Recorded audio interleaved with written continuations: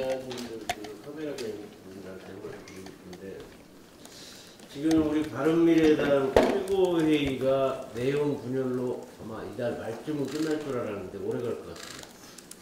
근데 여러분들이 보시다시피 이 우리 원내대책회의 멤버들을 보면 최고위원으로 최고에 참석하는 분들이 그 4명 있죠.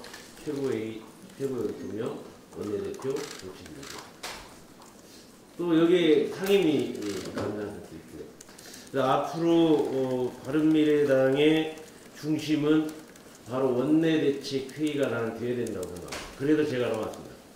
그래서 어, 원내대책 회의를 앞으로 화요일, 목요일 날 하는데 이거를 좀 원내 뭐 의원 뭐 미니총회라는 이름을 갖고 가든지 해가지고 지금 국회 정상화 그리고 이 어렵게 된 우리 국민 경제를 살리는 일들을 절실하게 좀 해야 되는데 그게 누가 해야 할 일이냐?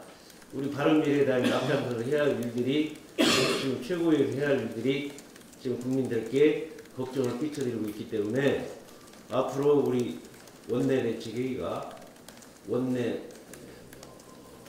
의원 미니총회 라는 이름을 좀 하든지 해가지고 이 중심을 이 원내대책의 중심으로 나가서 국민들에게도 에, 희망과 기대를 줄 수 있도록 어, 하는 그런 바람으로